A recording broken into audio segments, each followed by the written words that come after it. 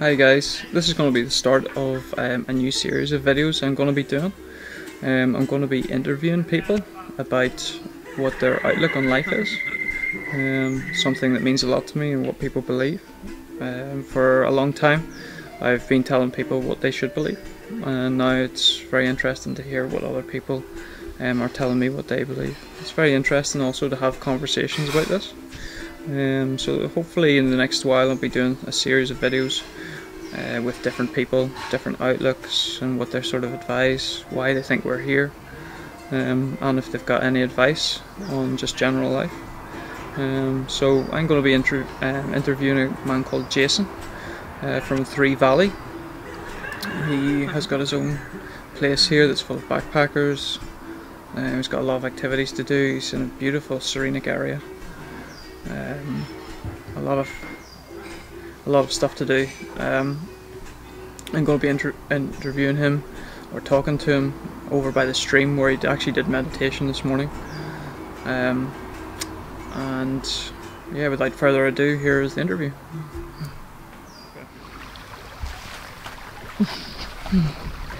So, yeah, do you want to give us a wee introduction of yourself?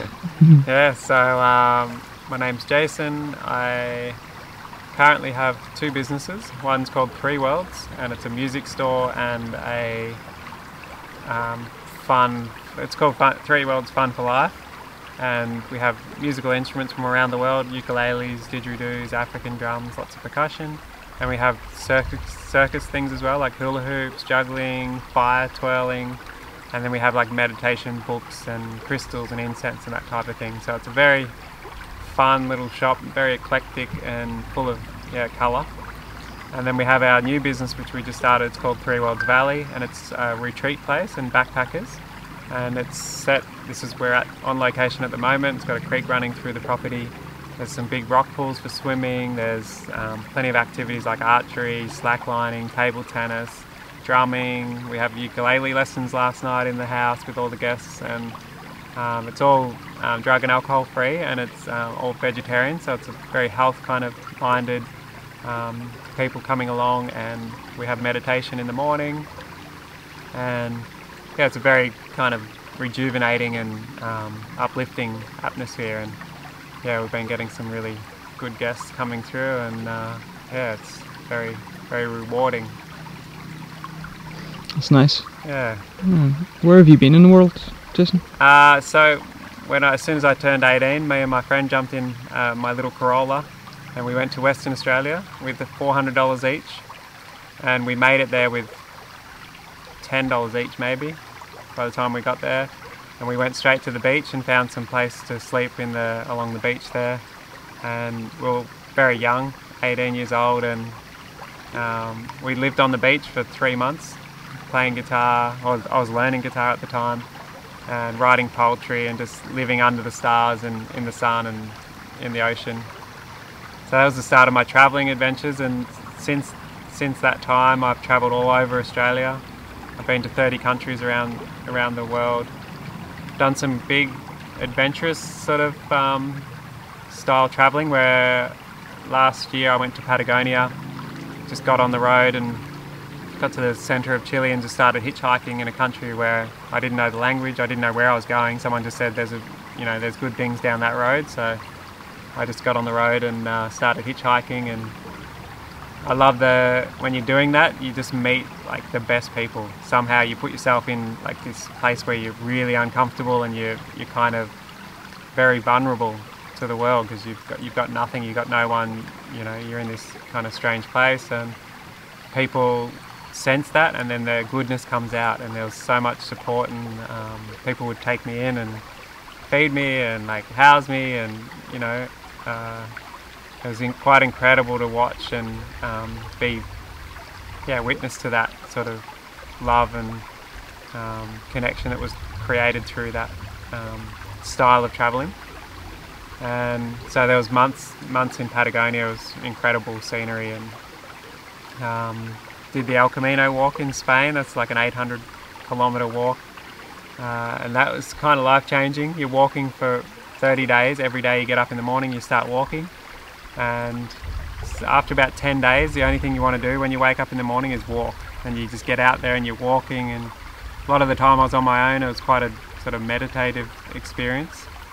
And, um, you know, I've been to India and studied meditation there and been to some pretty high places in my mind and in like a sort of state of being uh, that maybe, you know, it's probably the richest experiences of my life here on earth. And yeah, just really feeling super connected and really, really super clear. And they're quite powerful. Like you generate a lot of energy through meditating that much, and yeah, it's sort of life becomes kind of easy, really. Like obstacles come, but they're not. You know, they're they're no um, no match to that sort of power when you have that much energy just to um, stay happy and stay in a, in a nice state of mind. So mm. there's definitely a lot of power, and I've done the meditation for the last 20 years, so it's it's definitely helped to transform my thinking and probably like appreciation for life, really, and the love, my love for life, and um, yeah, the quality of things that happen in my life are really like I feel really, really lucky. But at the same time, it, I feel like it's also coming from that constant practice of, you know, generating good energy in meditation, and that attracts good people and good things. So mm. I sort of um, yeah account it to that. So. Mm. Do you have any regrets in life, Jason? Oh, yeah. What are, what's some regrets? I think one thing I did sleep with this girl who had a boyfriend back when I was like 19, and that was like mm. that played on my mind for like 10 years. I felt mm. really like bad about that. Mm. Um, and after 10 years, I tried like I reached out to them and contacted the guy, and he it meant like very little to him, but to me it was like something that you know stuck in my um, yeah stuck with me like that was not a good thing to do apart from that no mm. I think um, you know starting traveling so young leaving school I actually didn't finish school which I'm very glad to have done and especially nowadays you can learn so much from the internet and YouTube man if you want to learn anything you can learn pretty much anything on YouTube so um, yeah, leaving school young was good. Going traveling young was really good. Preferencing or like prioritizing um, experiences over accumulating things. That's probably one of the best things, best choices that I've made. That's continually being made. That accumulating things and, and trying to create an image of success in the world is not so rewarding as it is to travel, to meet new people, to go to new places and really like create experiences because they're the things that you look back on, you talk about with your friends, you share, share stories. It's not about, oh, I made this much money or I bought this car that time or, mm. you know, no one really wants to hear that. It's, it's more about the experiences of life that um, make it a rich and rewarding event. Mm. Mm. It's true. Why do you believe we're here? Uh, well, I think this world is. I don't think we need a reason. There's not a, a, a why is we're here. We're here to experience life. It's it's quite incredible when when you get present to the reality of life. It is this wondrous playground that we're here. We come from. We, we don't come from here. We're in these physical bodies. It's, you know, we enter the body. We can move these bodies around. We can swim. We can play music. We can, you know, you know, meet with people and eat good food and um, you know, nature is like incredible. Technology, what we've created here, like you can create things in this world, make things from nothing.